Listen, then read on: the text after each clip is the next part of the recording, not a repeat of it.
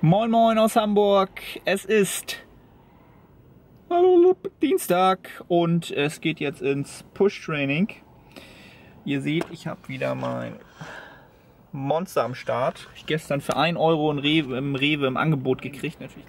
BCAA Stack von Gym Junkie. Die Badel ist auch am Start. Und mein Auge Mein Trainingbrille. Es ist nicht schlimmer geworden, auch nicht wirklich besser. Aber ich glaube nicht, dass es ein Gerstenkorn ist. Ähm, es einfach entzündet irgendwie die Haut. Aber ich will euch nicht mit meinen ekligen äh, Sachen da nerven. Jetzt wird gepusht. Cardio ist heute dann nach dem Training auf dem Plan. Ähm, Cardio mache ich jetzt in der zweiten Woche drei Einheiten Slow and Steady, a 30 Minuten. Gewicht ist heute lowest auf ähm, 78,9. Das ist das niedrigste, was ich seit anderthalb Jahren hatte. Das ist positiv. Ähm, also ich bleibe erstmal bei den Macros, die ich jetzt habe und bei dreimal die Woche Cardio diese Woche. Guck mal, wo das dann auf der Waage noch hingeht. Ähm, und werde wahrscheinlich, der Plan ist, das Cardio-Training noch ein bisschen zu erhöhen und versuchen die Macros so hoch es geht zu halten während der Vorbereitung. Wir werden sehen, wo wir da bleiben können mit den Carbs. Die Fats sind schon low bei 40. Da will ich eigentlich nicht mehr weiter, viel weiter drunter gehen. Mal gucken, was wir tun müssen. Jetzt gönne ich mir erstmal den Monster auf dem Weg ins Gym für X. Bisschen Musik hören. Freue mich drauf.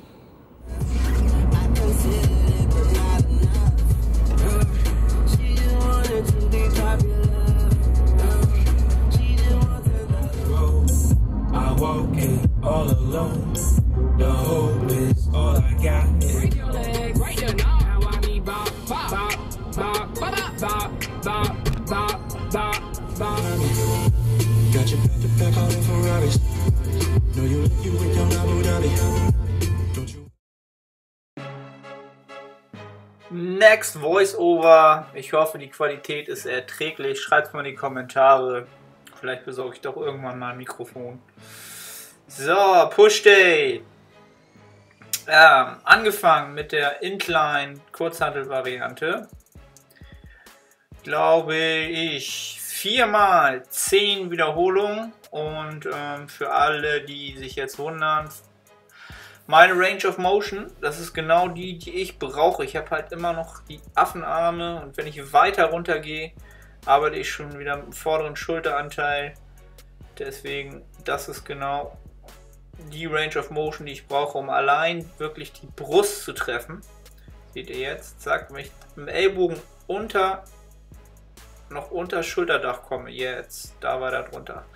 Dann muss ich erstmal aus der Schulter feuern. So arbeite ich jetzt wirklich nur schön mit der Brustmuskulatur, was auch der Fokus sein sollte. Bei dem Training haben wir ähm, ein, zwei Special-Übungen gemacht, werdet ihr gleich sehen. Also die Variante war wirklich äh, ja, die Hauptübung, vier Sätze, 10 bis 12 Wiederholungen war ein Hypertrophie-Workout. Dann sind wir an die, ähm, ja, wie nennt man, nennt man das, Dips-Machine gegangen. Eigentlich ist es eher so, äh, um Dips und Klimmzüge zu machen, assistierend, und haben die Plattform genutzt, um da Dips dran zu machen.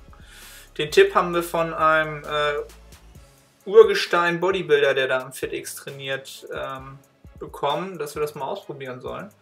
Das haben wir auch gemacht, haben dann so ein, zwei Mal gebraucht, bis wir so unsere Position und die Winkel gefunden haben und jetzt lieben wir die Übung. Mein Trainingspartner und ich. Die geht richtig gut in die Brust. Man muss halt natürlich so ein bisschen gucken, wie mache ich die Übung, damit ich sie richtig gut in der Brust merke. Ähm, auch nochmal drei Sätze, 8 bis 10 Wiederholungen. Ähm, die Variante habe ich jetzt von äh, Marcel, auch ein Trainingspartner von mir, um so ein bisschen den oberen, äußeren Brustanteil akzentuiert zu treffen. Ähm, aus meiner Sicht, es gibt die Hammer Strange Incline. Die steht auch bei FitX direkt daneben an. Ähm, das die aus meiner Sicht die viel bessere Variante. Ich merke das viel mehr und sieht man jetzt auch oben rechts in der Ecke im Brustbereich. Ähm, Bank leicht schräg eingestellt und dann schräg nach oben über den Brustkorb quer rüber drücken. Ähm, ja, aus meiner Sicht die bessere Incline-Variante am Seil. Auch da habe ich viel mehr Spannung. Richtig geile Übung, probiert es mal aus. Richtig vorne rüberziehen und dann auch noch die Faust über die Mittellinie. Ähm, ja, das war so ein bisschen experimentell. Auch nochmal, da haben wir sogar vier Sätze gemacht, auch acht bis zehn Wiederholungen. Dann war die Brust richtig schön voll. Was ich jetzt langsam merke, die Carbs langsam runterfahre, der Pump geht auch langsam raus während der, Workouts. Ähm, da noch ein kleines Posing-Update.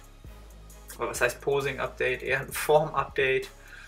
Ähm, da in dem Training war ich noch relativ voll, wie man jetzt sieht. Das Training da drauf, das Rückentraining da drauf, da war schon deutlich Volumen raus jetzt. Ähm, ja, aber das gehört auch zu so einer Wettkampfvorbereitung dazu. Man kann halt nicht voll bleiben immer. Am Tag X wollen wir richtig die Muskulatur voll haben. Äh, ja.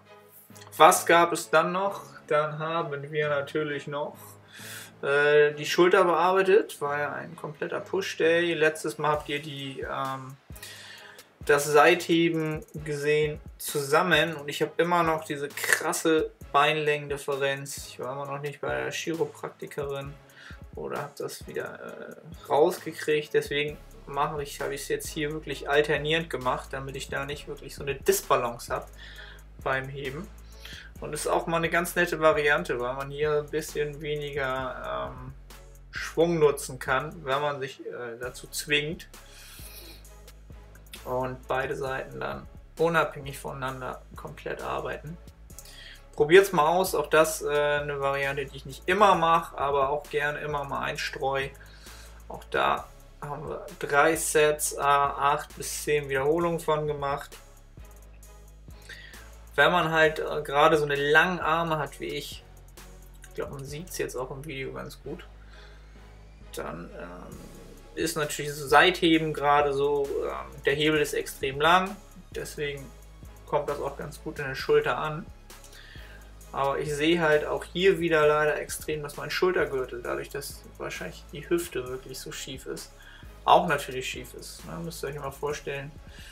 Das arbeitet sich durch den ganzen Körper durch.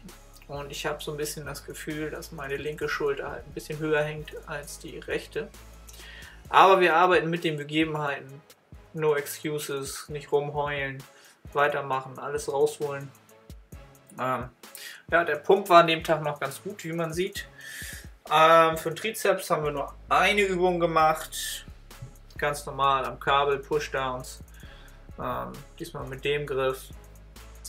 Drei Sätze. Klassischerweise 10 bis 12 Wiederholungen. Also Trizeps im Moment äh, lege ich überhaupt nicht so den Fokus drauf, auch wenn der in, in, in der äh, Videovariante jetzt nicht so doll aussieht. Mein Trizeps ist gut. Ja, genießt den Rest des Vlogs und äh, schreibt mal in die Kommentare, wie euch die Trainingsvideos gefallen und ob ihr das mal ausprobiert habt. Wir sehen uns dann im Rest des Videos wieder mal beim Essen back aus dem Gym. Heute war Push, wie gesagt, habt ihr jetzt bestimmt gesehen. Ich habe es eingespielt, bestimmt auch gleich ein paar Posing, ähm, ähm, eingespielt. Ich bin mit der Form soweit richtig zufrieden. Für meine Verhältnisse sind jetzt noch ja, sogar unter vier Wochen schon. Ähm, Training war richtig gut, richtig Dampf gehabt. Da einmal Danke an meinen Trainingspartner. Ähm, ja, hat gute, gute Vibes gebracht, ähm, hat einfach Spaß gemacht. Ihr seht, ich habe auch vom, vom Training ähm, mal ein bisschen variiert, das habt ihr aber gerade gesehen. Ich fühle mich gerade richtig, richtig ähm, gut, habe Power ohne Ende, obwohl ich echt ein sehr, sehr hohes Defizit fahre. Habe jetzt nur noch Cardio gemacht, das habt ihr nicht gesehen, halbe Stunde Slow and Steady. Haben wir dabei wieder Christian Gooseman angeguckt, der junge Mann motiviert mich auch ungemein was der geschafft hat mit 22, ist einfach ähm, ja, bemerkenswert. Ich hoffe, ähm, es wackelt hier nicht zu doll. Ich hatte ja immer die GoPro, da habe ich hier äh, so ein, Fixum gehabt links. Jetzt seht ihr mich mal von der anderen Seite, nicht von der Schokoladenseite. Ja, jetzt heißt es nach Hause essen, ähm, bisschen konservativ essen, weil heute Abend der Geburtstag von meiner Oma ist. Die wird 90. Respekt dafür, ja, muss man erstmal werden. Äh, also die guten Gen Gen Genetics liegen in der Family. Da gehen wir zum Italiener und da will ich mir halt noch äh, gut ein paar Macros aufsparen, damit ich da nicht äh, typischerweise nur Salat und Hähnchen essen muss. Mal gucken, ob ich mich gleich zurückhalten kann. Ähm, ansonsten ja, nehme ich euch mal mit, dann seht ihr mal, dass man auch auswärts Uah, langsam, sonst kippt ihr um. Ich halte. There you are. So, live dabei würde Manuel sagen. Vielleicht filme ich nächstes Mal einfach zu Hause. Ja, also ich nehme euch dann äh, bestimmt mal so kurz mit und mache ein paar Fotos und erzähle vielleicht mal so ein bisschen, wie ich das mache, wenn ich äh, auswärts die Calories tracke und die Macros. Ja, let's do this! Let's, um, let's rock this prep. Casual Time. Man sieht mich selten im Casual Look, aber zum 90. Geburtstag meiner Oma habe ich selbst mal ein bisschen Casual Look. Ähm, eigentlich könnte man es noch ein bisschen schicker machen, aber ähm, wir sind jetzt nur beim Italiener. Ähm, nur der, der familiäre Kreis und da müssen wir halt nicht übertreiben. Und boah, ich nehme euch aber mal mit, werde da nicht filmen groß, aber mal zeigen, was ich so esse. Ich habe noch 1000 Kalorien offen und ähm, ja, ist gar kein Problem, auch auswärts zu essen, auch in der Wettkampfdiät. Ähm, ja, lasst euch äh, überraschen. Ich bin auch gespannt, was da so gibt, was ich mir gönnen werde und ähm, ja, Wettkampfvorbereitung muss kein ähm, keine Qual sein oder irgendwas. Nein, muss es nicht. Ich habe jetzt richtig Hunger und gehe jetzt ins Restaurant. Erstmal wird meine Oma ordentlich umarmt. 90 Jahre, Leute. Die ist 90 geworden heute. Das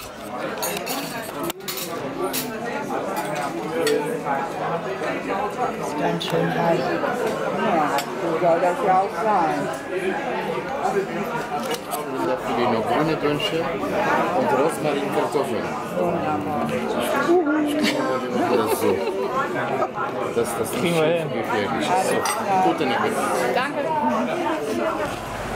Ah. So, Wettkampfvorbereitung beim Italiener. Überstanden. Pizza und Salat gab es. Jetzt gehen wir noch zum Blockhaus. Jetzt gehen wir noch zu Blockhaus. Noch ein bisschen die, die Proteins saven. Nee, ich glaube, ich muss machen wir noch einen schönen Quark zu Hause. Das hat noch nicht gereicht heute an äh, Macros und nicht an Protein. So, das war's für heute. Wir sehen uns im nächsten Video.